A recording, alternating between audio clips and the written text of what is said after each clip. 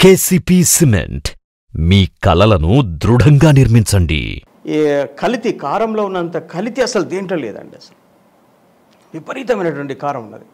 ఇప్పుడు మార్కెట్లో నీకు మంచి క్వాలిటీ కాయలతో పాటు తాలుగాయలు కూడా వస్తుండే రైతు పది బస్తాలు మంచి కాయ పండించాడంటే ఒక మూడు బస్తాలు దాంట్లో తాలు వస్తుందండి. ఈ తాలు ఏం చేస్తారు ఇది? అదే వ్యాపారి మంచికాయ కొంటాడు తాలుగాయ కూడా కొంటాడు.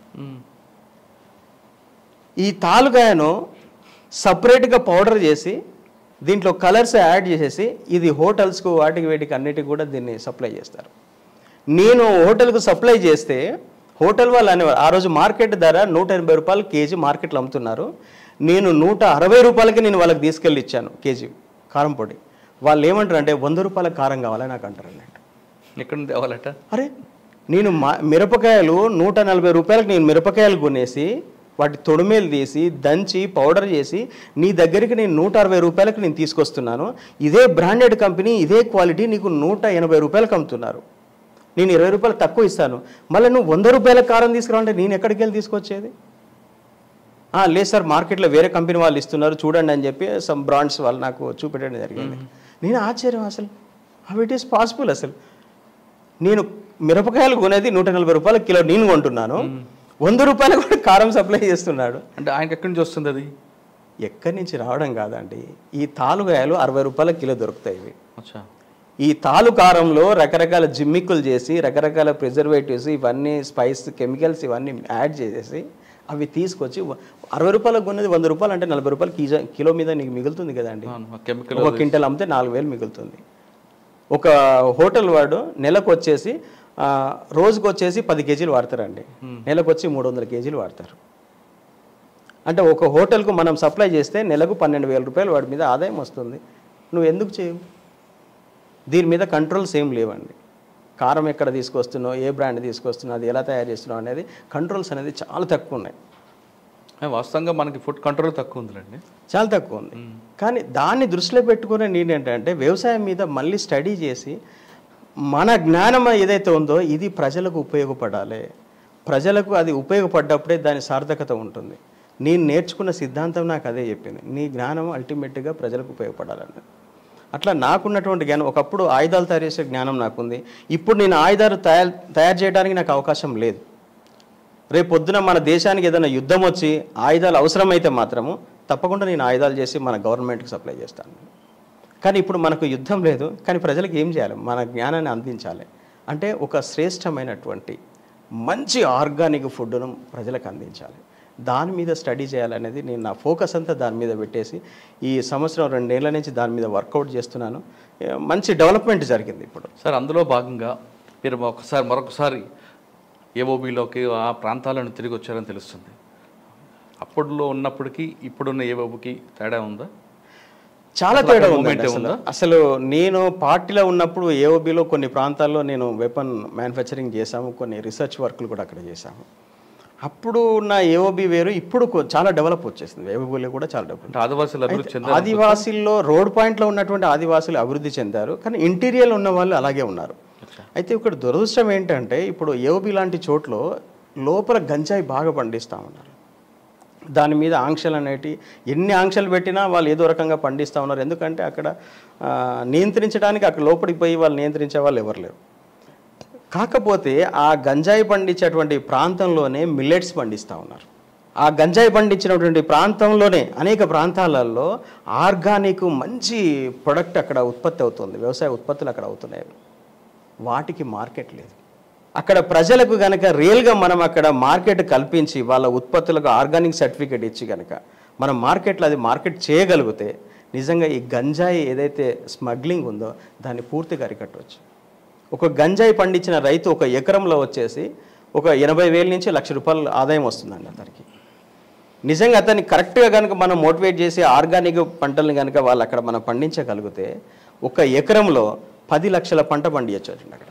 కరెక్టే సార్ పది లక్షల పంట పండించవచ్చు కానీ దానికి పెద్ద కష్టం కూడా ఉంది. అదే మీరు గంజా అనుకోండి. దానికి ఒక విత్తనం వేసి వదిలిపెడితే వర్షంకి అదే పెరుగుతుంది కదా. మీకు శీలావతి అలాంటి గంజాయి. సార్ గంజాయి పండించటానికి పెద్ద కష్టం లేదని అంటున్నారు కదా.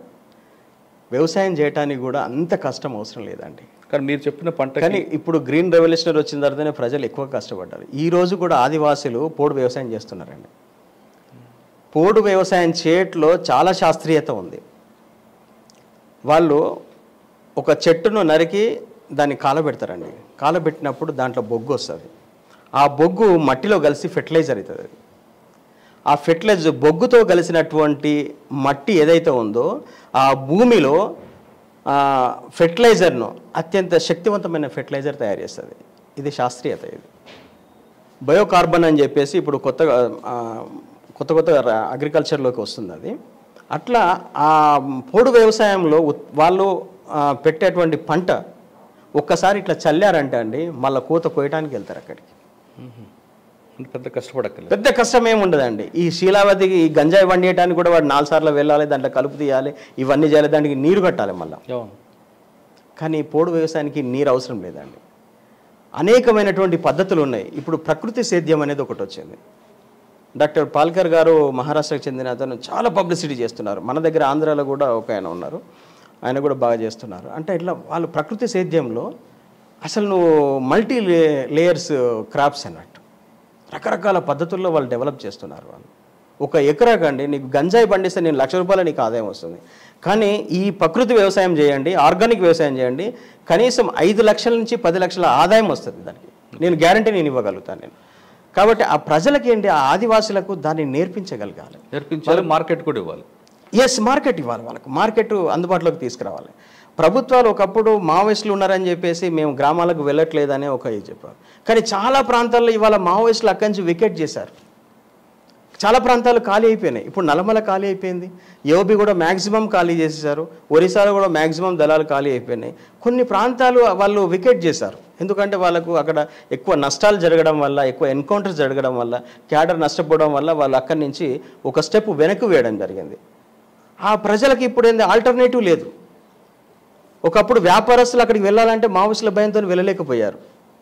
కానీ వాళ్ళు వాళ్ళు పండించిన పంటకు మార్కెట్ లేదు కాబట్టి అవసరం మేరకే వాళ్ళు పండిస్తున్నారు. అంటే ఈ సంవత్సరానికి వాళ్ళు బ్రతకడానికి ఎంత అవసరమో అంతవరకే పండిస్తూ అదే వాళ్ళు భుజిస్తూ అట్లానే బతుకుతున్నారు కానీ వాళ్ళకు మార్కెట్ అవకాశం కనుక చూపిస్తే అక్కడ అద్భుతమైనటువంటి ప్రయోగాలు చేయొచ్చు. అంటే అక్కడ ప్రభుత్వం వెళ్ళి వాళ్ళకి అవగాహన కల్పించి మార్కెట్ కల్పిస్తే ఖచ్చితంగా అక్కడ ఎస్ ప్రభుత్వం కొంతవరకు చేయాలి.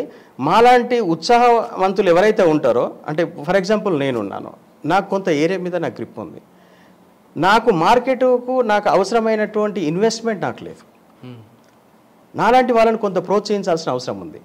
అట్లాగనే చాలామంది నాలాంటి వాళ్ళు కొన్ని వందల మంది యువకులు ఏదైనా ఒక వ్యాపారం చేయాలని చెప్పి అనుకున్నటువంటి వాళ్ళు ఉన్నారు.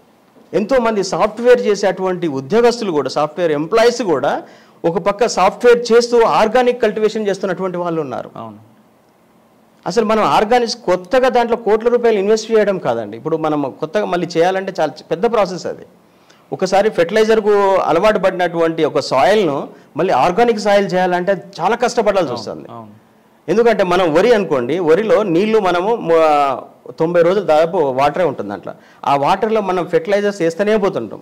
ఆ నీరు ఎంతవరకు ఇంకుతుందో సాయిల్ అంతవరకు అది కెమికలైజ్ అవుతుంది అది. దాన్ని మళ్ళీ ఆర్గనైజ్ చేయాలంటే దాన్ని మళ్ళీ దాంట్లో మనం సేంద్రియ ఎరువులు వేసి వేసి వేసి కనీసం ఒక ఏడు సంవత్సరాలు పడుతుంది. ప్యూర్ మళ్ళీ ఆర్గానిక్ సాయిల్ కావాలంటే.